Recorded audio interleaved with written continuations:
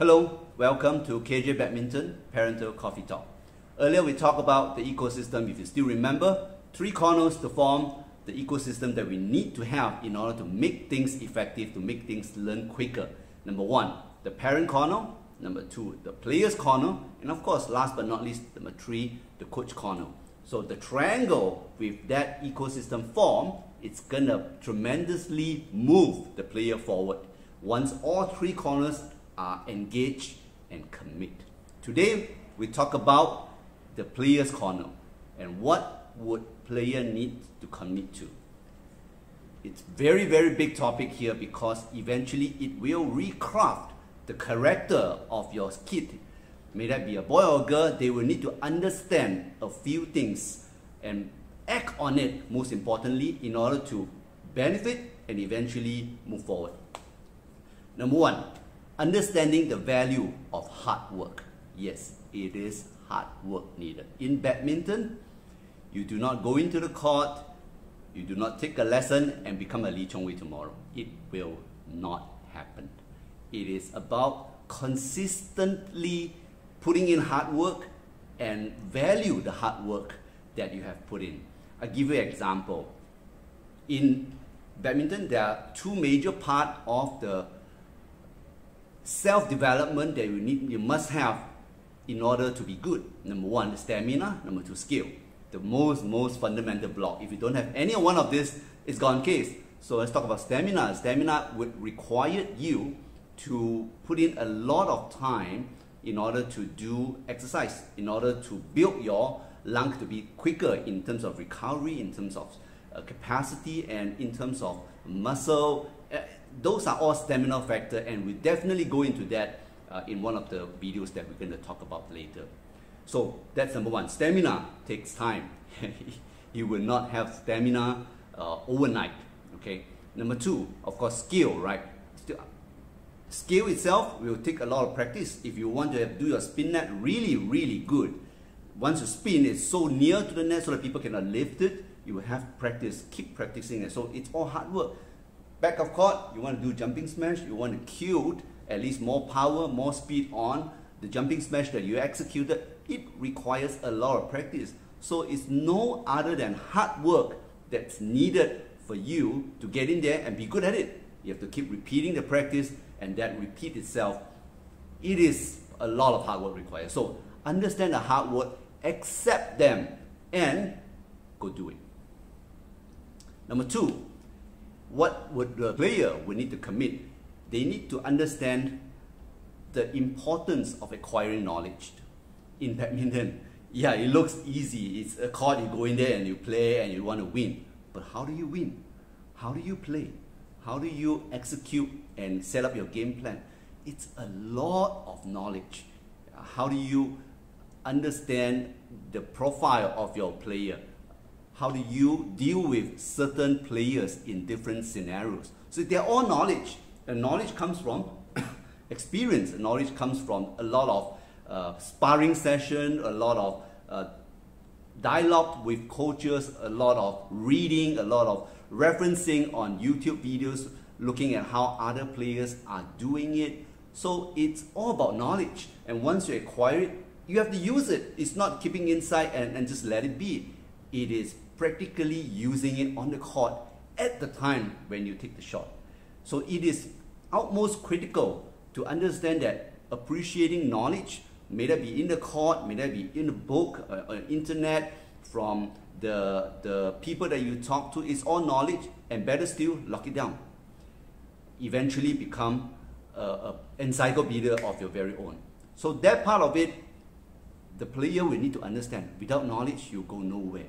So having the player, which is you know young kids, to pick it up and utilize it, okay, it's good for them. It's really, really good for them. May that be now, may that be future. It's the same behavior, it's the same character, the same action that will lead them to success. That's number two. So we have talked about the hard work, we talk about the knowledge, and of course the third one, I would really want to take this one up that's critical, critical, and that's consistency in commitment. What does that mean? In any player's uh, in any player that's getting more serious and they have to commit to a series of training, a series of uh, gym, for example, a series of exercising, a series of sparring, competition, it's very repetitive. When I say that, leave the competition out of the picture for now. Just assume that, hey, in a typical week, a typical week, you would go to school, obviously, may that be morning school or afternoon school, and you would actually schedule the time that you have with training and, of course, exercising to build your stamina. So that itself, you just imagine a Monday to Friday, assuming that you are morning school right now. In the morning, yes, you wake up, you would go to school, 7 to 1 o'clock when you get back off from school. You would need to schedule a training and you have to go into the training.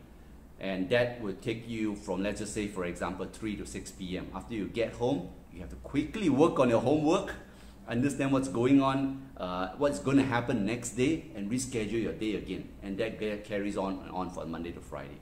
So it really depends on how many days of training that the, the parent is scheduling you into and the requirement that the coaches want you to be in the training, it depends on various stage. Let's say, for example, earlier stages, it, it can start with any time, anywhere between three, four days, eventually up to five days and six days um, of course you still get one rest day even though you maxed out at, in a teenager's time, right? But one way or another, it's consistently doing training, consistently performing those exercises or gym session to make sure that you are growing. And that itself, it's not easy. Being consistent, it's never easy.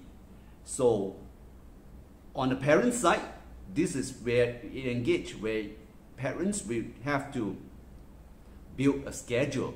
You can't expect an 8, 9 year old to go build a schedule or 10, 11 year old to strictly build their own schedule and follow them effectively. So we build a schedule, uh, even up until this point. I still build schedule for my boy, uh, even though that he's 15, right? But he understands the, the nature of it already.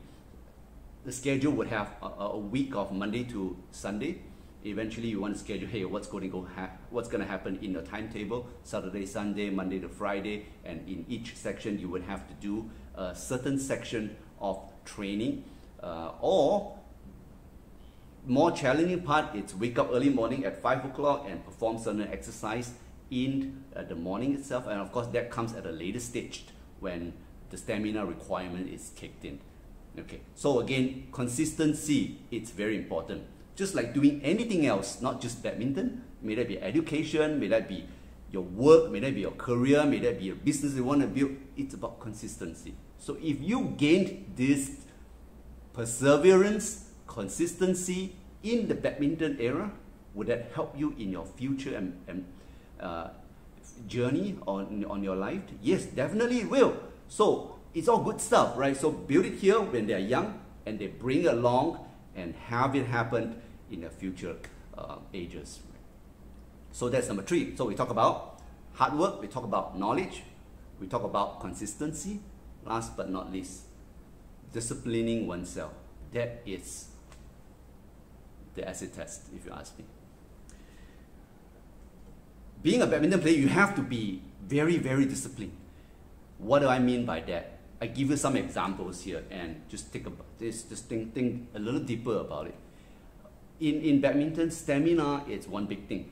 Stamina is uh, critical. If you don't have stamina, you will not last all three games of 21 points, and you chances for you to lose the game it's high. So it's very very important for people to avoid uh, chill food, chill as of cold food, things you just pull out from the fridge or iced based food. Uh, temperature that's lower than the body temperature is generally not encouraged for example, ice drink, if you go, hey, get me a Milo ice. I, I want more ice, please, so that it's more cold. It's colder. That itself is bad because it actually shrink your lung capacity and it reduces your stamina uh, uh, of the whole self. So that itself, it's already an acid test. Very, very critical not to take cold drinks, any cold food. You go talk to any of the expert players, they would have never had cold drinks in their life uh, at least until a point that they, they stop playing, right? So that is important. That is self-discipline. Yes, in front of the dad, hey, you know what? I will not take cold drinks. Hey, I, I, I want to be a, a, a good player. When you turn around, hey, you know what? My dad is not around. Let's take some cold drinks. Yeah, hello. Mr. Player or Miss Player? Yes, you can do that, but it will still reduce the stamina, although your dad didn't see that. Good luck to you, but by knowing what you want to achieve, your goal, what you want to, what do you want to become, and how you want to become one, understanding objective, set discipline for yourself, and do that. Another good example is wake up early. Wake up early means that you also have to sleep early. If you don't sleep well, how do you wake up early? And that itself, it's critical. And by doing that, it is already showing your determination. My goal is to become one of the best badminton players in the world, and that's what I want to do. Number one factor, sleep early. Wake up early and do some exercise in the morning. May that be a push down, may that be a sit out, whatever, whatever. Before you go to school, do that. It's critical to become part of the journey, part of the routine, and by disciplining yourself. So that four things I really want to sum it up. Number one, understanding the value of hard work. Number two, the knowledge is important. You have to go acquire and use it. Number three, you have to be consistent. And number four, definitely, you will have to be super disciplined uh, to yourself on different different habits. With all those learning since young, and if you are able to do all those in your badminton journey, it doesn't really matter if you become Lee Chong Wei or you don't, you will be a successful person one day on whatever that you are doing. That's the real value of embarking on the journey of becoming a badminton player. You can reuse all those methodology. You can actually understand why you want to, what you want to achieve and how you want to embark on it and that carries on. So I would say it's all win for all the players who have gone through the journey and understand the values of it. With that itself, thank you for listening. If you have not done so, please help me to subscribe, smash the like button, and share this where you think it will help others to become successful. Thank you, and we talk again. Thank you.